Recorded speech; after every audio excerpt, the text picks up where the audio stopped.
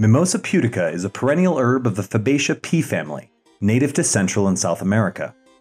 Commonly called the touch-me-not plant, the sensitive plant, or the tickle-me plant, it is known for closing its leaves or folding them inwards when touched. In behaving this way, the Mimosa pudica demonstrates thigmonasty. Mimosa pudica is not the only mimosa plant to exhibit this rapid plant movement, it is simply the most popular. Similarly, these rapid movements aren't unique to mimosa species. Carnivorous plants, such as the Venus flytrap, employ rapid movements to capture their prey. The plants in the cardamine species have seeds that explode when touched.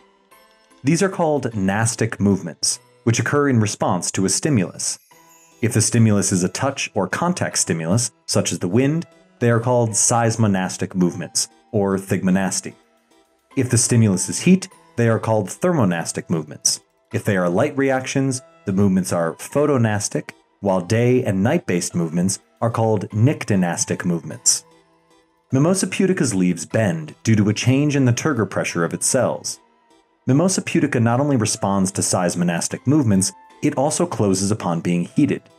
When the plant is exposed to such stimuli, it undergoes a series of biochemical and bioelectrical changes that allow it to bend inwards.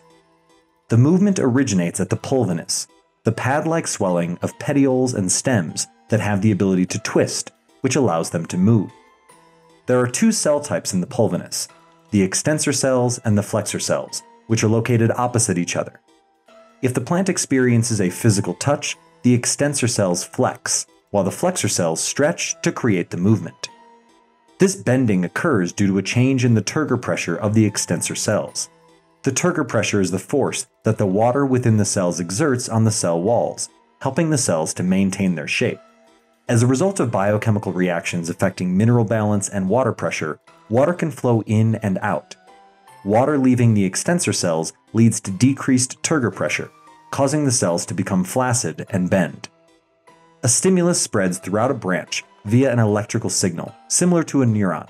So, although only one part of the branch has experienced the stimulus, all the leaves on that branch would still shut in response. The process of folding and recoiling leaves costs the M. pudica plant a lot of energy. While the leaves are bent, the opportunities to photosynthesize and produce more energy are also reduced. Despite these obvious disadvantages, researchers believe that the trait evolved as a way to avoid predators. If an herbivore comes along and starts nibbling on the mimosa plant, bending the leaves inwards and drooping would make it more difficult for the predator to tear the leaves off, and it would also serve to expose thorns. Drooping also gives the impression that a plant is dead or dying, making it less appealing than fresher, potentially more nutritious plants.